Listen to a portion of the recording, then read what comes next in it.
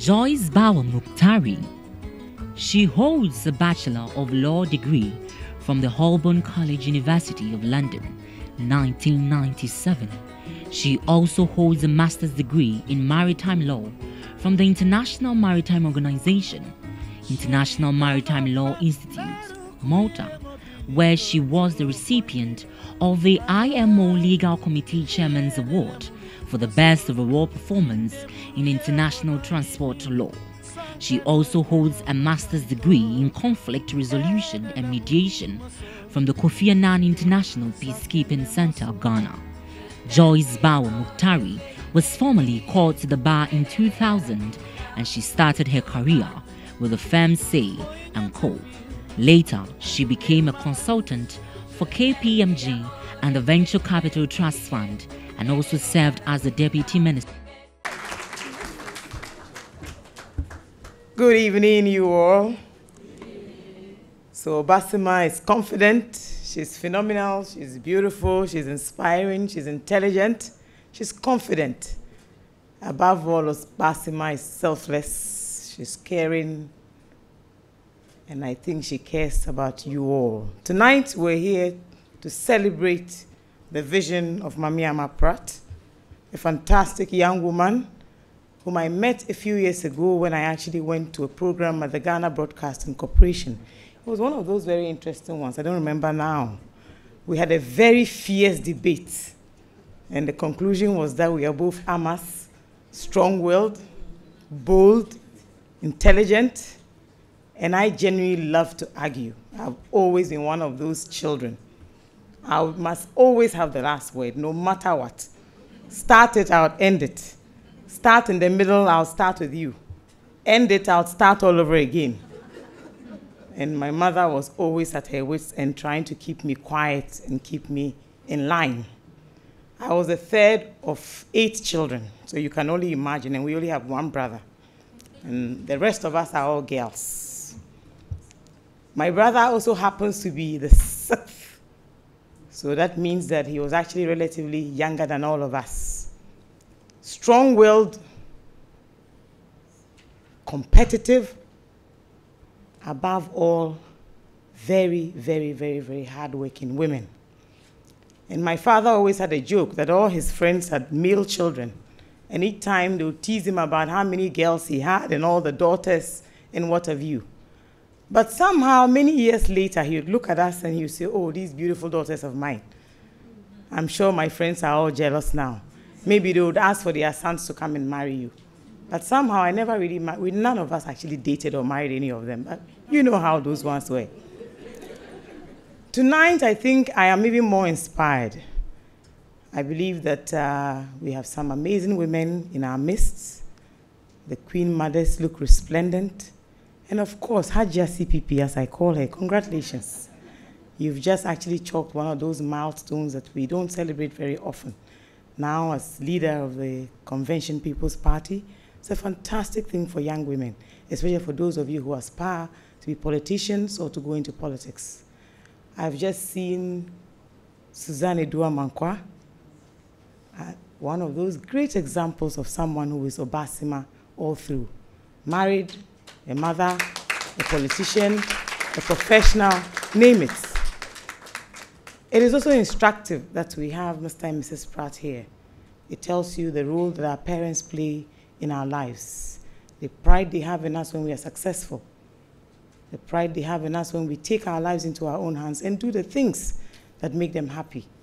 I believe that tonight we're here to see how one parent's vision for their daughter has turned out and how that vision is going to impact each and every one of us tonight, especially for those of you who are starting out, who need role models, who need great examples.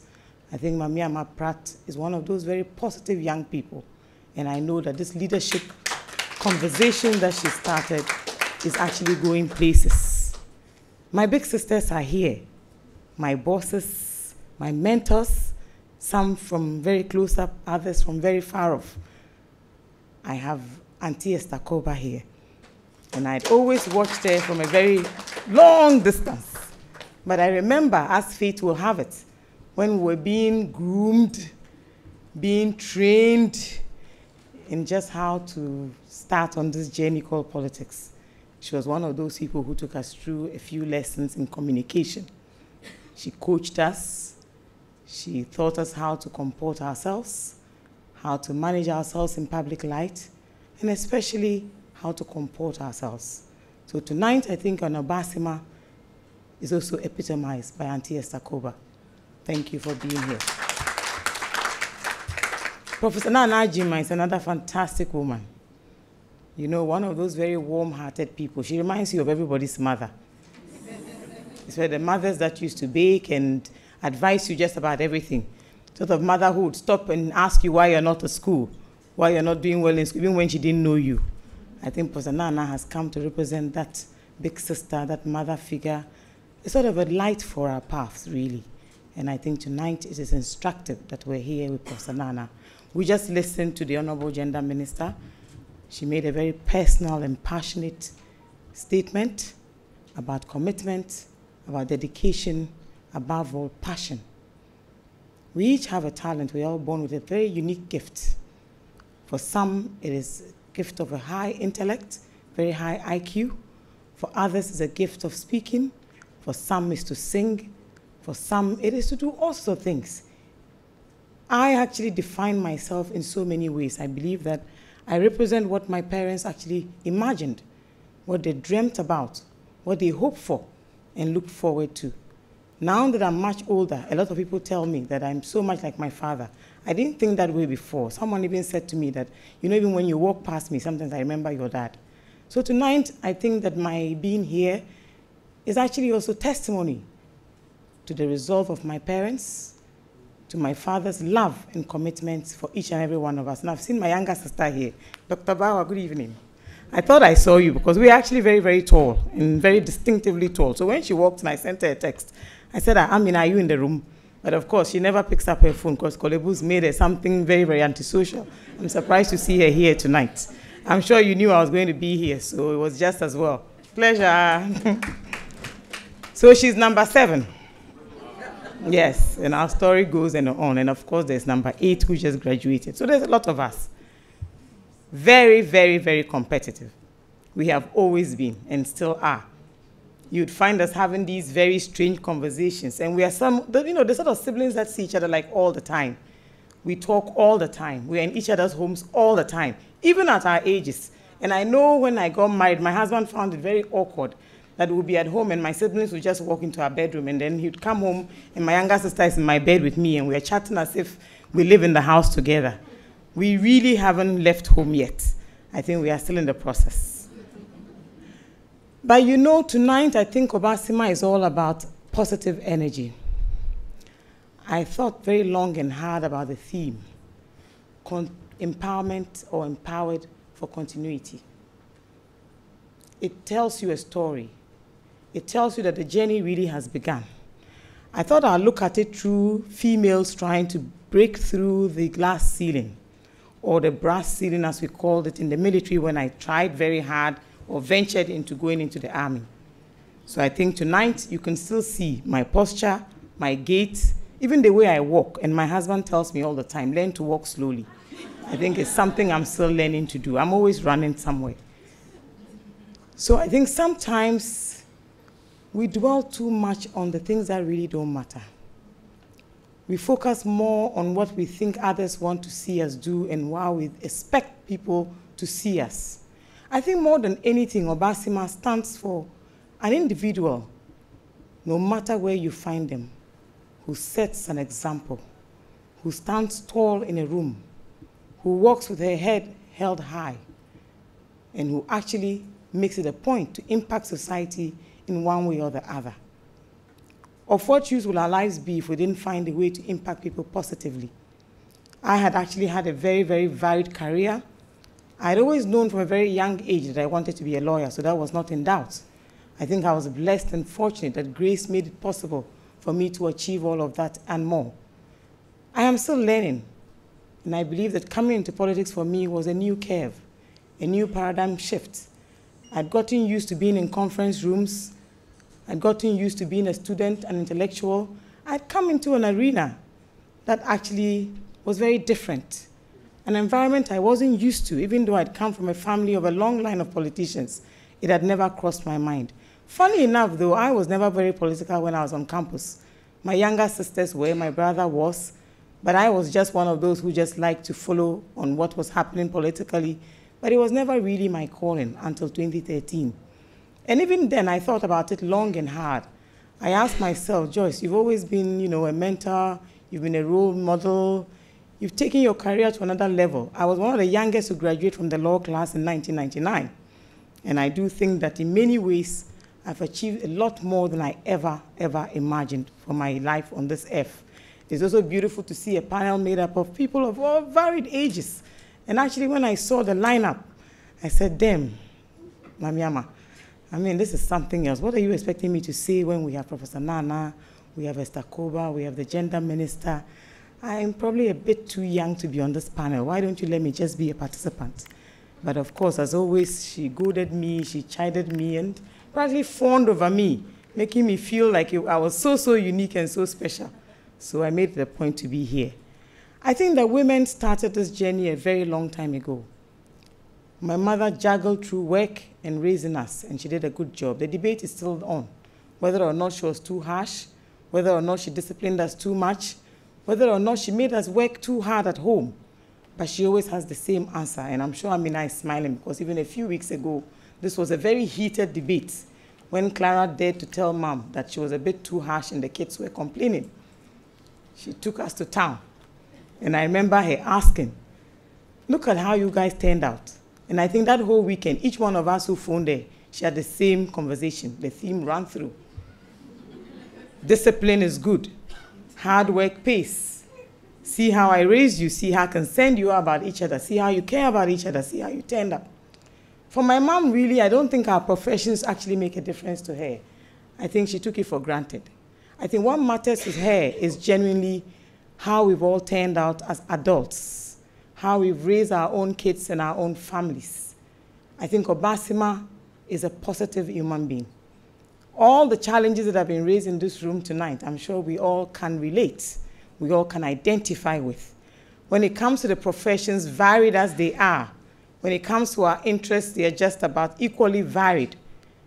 But when it comes to the psychological, the personal challenges that we encounter day in, day out, I do think that our problems probably much are you know, reminiscent of everyone else's. We replicate these stories every day. But of course, in all of this, there are those key individuals. The Esther Ocloos, the Nkulenu owner, who we celebrated a few days ago. We have Dr. Mary Grant, may his soul rest in peace. Madame Joyce Aryee, whom my father named me after, and I was looking forward to seeing her here. And I recall him always telling me, I love that woman on campus. She was graceful, she was intelligent, she was smart, she was such a lady.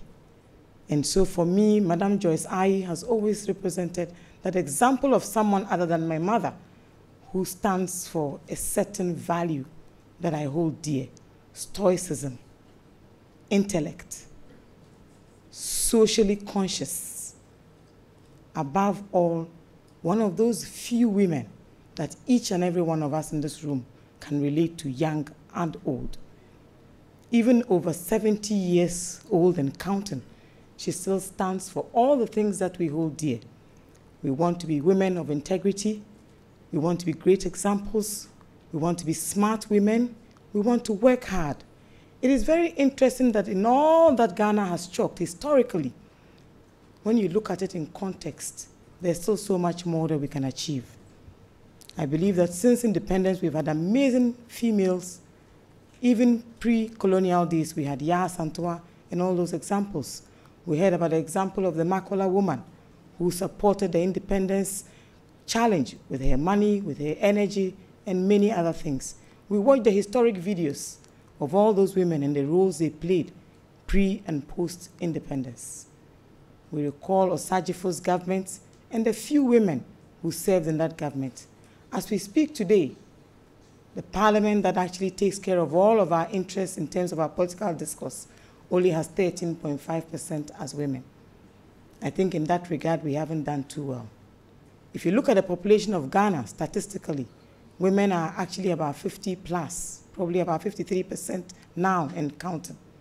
So there's a lot more females than men. So why are we still failing to shatter completely that glass ceiling, to break through the brass? Are we looking at a virtuous woman who represents just someone who goes to church, who raises a family, who prays 24 hours a day? Or we are looking for a whole Obaasima who is prayerful, who is graceful, who is hardworking, who represents something. And I think I take something away from what the Honorable Gender Minister said that it is not just about going to school, really. It is also what you do with that education. It is what you do with your life, really. It is how you turn out. It is also about the relationships that you have. But I've always learned one thing that for me personally, having a great attitude will take you very, very far. I think it actually defines each and every one of us. When you meet somebody, what you take away is your first impression of the person. You meet somebody once and you dislike them instantly. You meet someone once and you know that they're not going anywhere. You meet someone for the first time, you can tell that this person is genuinely not very committed. I think we should learn to build on our attitudes. I personally recall that from a very young age, I was one of those very lucky ones. And I remember my class one teacher actually is still very much alive. And she follows me on Facebook, on social media, name it. And every now and then she'll come to my page and she'll say something very, very interesting. I still remember you kids, you know, you were such amazing kids. I find it strange that you are always all together. Anytime you post something, I see each one of them comes to say something. And I always go back and say, Teacher Jane, you know something? We all took something away from your kitchen. And really, in Tamale, where we grew up at the time, she was an English woman who had married one of the very great lawyers we had, lawyer Arai Alasan and come to live in Tamale. So most of us from that crop of kids whose parents were lecturers of the academic fraternity actually ended up starting life in that kitchen. And she's 80 plus now and is so, so, so active on social media, sometimes it surprises me. Until date, if you post something and there's a little error, she'd come back and she'll subtly correct it. She'll either put an apostrophe S or she'll put something there but at least she'll tell you that she's read it and she thinks you could have said it better, you could have put it in this way, you could have probably been more succinct, name it.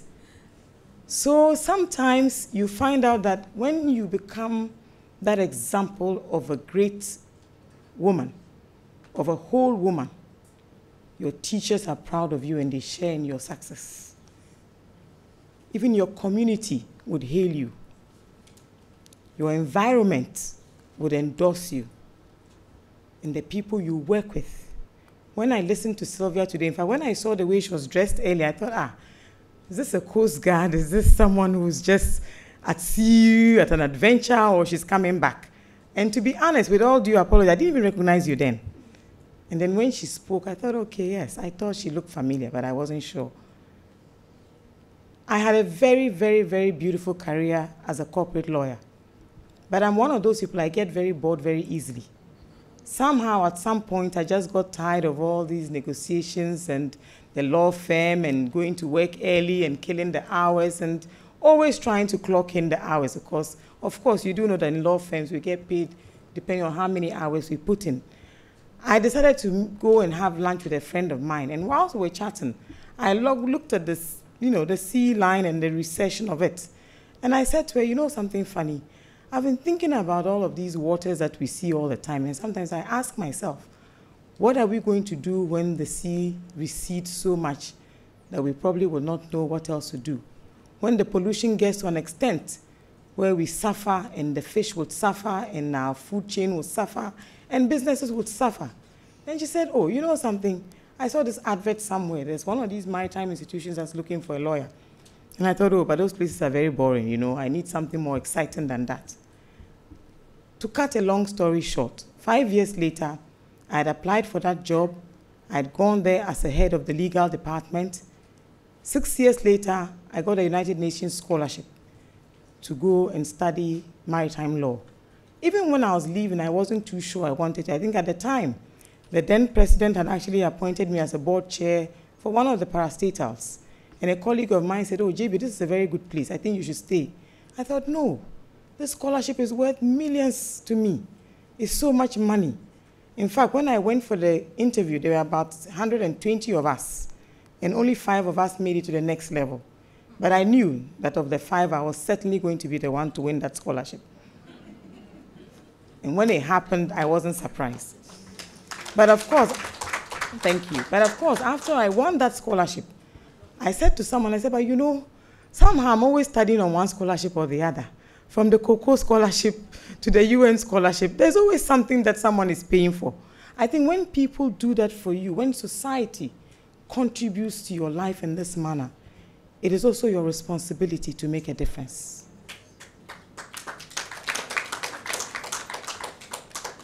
It is your responsibility to take advantage of it, to do it and do it well. I remember at the time I was leaving for school, my son was just two. I'm one of those ones who only has a son. He's almost 12, and he's a fantastic little man. And so I said to myself, my mom said, You know, I did it with you. You were a year old when I went to Bath. I don't think it is impossible. You have a great family, your husband is fantastic. I think you can do it. It was a very, very difficult decision. But I look back on it and I tell myself it was the best decision I ever made. It is the reason why I'm here with you this evening. If I had stayed in those courts in arbitration, in corporate law, I'd be making vast loads of money, speaking a lot of English, engaging a lot of people, drinking copious amounts of wine. And I told a friend of mine yesterday, I was used to the boardroom, I was used to the courts, I was used to the finer things of life until I came into politics and I realized that there could be some rough sides and rough edges to life. But all in all, I think it's also helped me. I used to be very sensitive. I always had to be the very best. If I was second best, it wasn't good enough. And so when I came into politics, I realized that it was actually a microcosm of all that is best everywhere else, and of course, the worst too. I think it has helped me be less sensitive I am also more conscious of my environment. Above all, I'm a touch more circumspect because you know how you get very careless in the professional lines. You know, you speak anyhow, you talk anyhow. You actually think that the world revolves around you, that everything is about wearing a great suit, making a great case, making some good money, and you know, just having a pretty much good life. But you come into politics and you see another side of life. You see the uninitiated you see poverty like you've never seen before. Because most often than not, you lose sight of all these things because you're on that success ladder, you're on that career path that takes you away from the realities of life. You come into politics and there's still a whole new world waiting for you, as the Lion King will say. It was a whole new world. It was an awakening. You look at the poverty around us for all those who needed so badly, just one person to support them who didn't get it. For all the opportunities that people lose because there's nobody really when they need it most to support them. I think is the reason why we are here. Obaasima is that woman who finds time to help the less fortunate, who finds time to support those who are not as blessed as you are, who makes time like tonight to be here with you, even when my son has been calling me all evening and asking why I'm not home. But I also understand that it's important to share with all of you young people. I think most often than not, we try so hard to be somebody else. But I think you can still be yourself, irrespective of where you find yourself. I found that coming into politics, I pretty much stayed the same. Even when police people were guarding everybody and military people were guarding people, I just thought that was just too much. For me, it would be interfering with my privacy, it would just be in my way. I still wanted to be JB and just stay very normal. I think in many ways, I tried to stay the same. I continue to have enormous faith in the fact that God will take Ghana to the next level. I believed in one way or the other that I'd contribute my quota. And I say one thing all the time, and I think my father used to say, but at that time, it didn't make a lot of sense, that politics gives you a platform like no other. It gives you a very wide ambit. It gives you leverage. I know most often than not you hear all those complaints. And recently I had a chat with an honorable member of parliament. She said, you know, I'm going to stop this job. I said, why? Says, oh, my constituency is very far. It is so, so stressful. I have only recently remarried and I get home very, very late. You know, my son is 21 and I never have time to stay with him. I actually, I could relate. I understood what she was saying. But I also believe that the 13.5% that we are all complaining about is not good enough. So it's actually awe-inspiring that we listen to the gender minister telling us how she came into politics. I think it pretty much happens that way for a lot of women, because most often than not, we approach it with trepidation, with anxiety. You're not even sure how you're going to survive. I think that when you talk about breaking barriers in a male-dominated world, it is that we must work to encourage one another. I think Madeleine Albright puts it very beautifully, that any woman who gets to a certain stage, a certain level in life, who has not raised another woman, it means that that whole journey has been worthless. It's probably meant nothing. If all we came into this world to do is just to raise our own kids, to make them great citizens, to make them great adults, to give them all that they needed, and we didn't affect other people other than ourselves, then what would it be worth? I think in all the things that we do, we must work very, very hard to touch lives, to make sure that whatever we stand for, that others are able to participate, to partake, and to enjoy it as well. I think that life is a whole adventure, and every day new worlds are open to us. New challenges, we meet new people. I listen to someone talk extensively about being someone's mentor. I think it's fantastic. But I think that a mentor must also have positive energy you must be able to inspire. You must have a vision that others can feed into, even if privately. Above all, you must also be the type to rise up to the occasion, even when you're not sure what you're doing or what it is that you intend to do. My brother has a very interesting term just do it. And I think Nike puts it beautifully. You wake up every morning to exercise, and you know how hard it is. I'm actually at my smallest ever. In Form 3, I was probably about twice the size. Somewhere in 2001, I took up tennis and I started to exercise. And I realized that my life became so much easier. All you have to do is wake up a bit early. And even for my slimmer sisters, I tell them all the time if you don't exercise, you definitely will not be acing your medical tests like I do. And my medical results are still a challenge to all of them because each day I tell them, just wake up at 4.30 in the morning. Obaasima is very energetic. Obaasima is probably married or a single mother. Obaasima is that woman who has no husband, no child, but has adopted a little child. And I have many friends who have done that and are successfully parenting other kids. Obaasima is a very well educated, very well organized, rounded person. Obaasima has time. Obaasima is full of sacrifice and love. But above all, Obaasima has a great attitude. Thank you.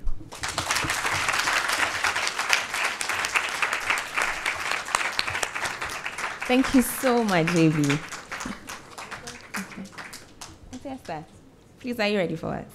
We are ready for you. Please let it let it go.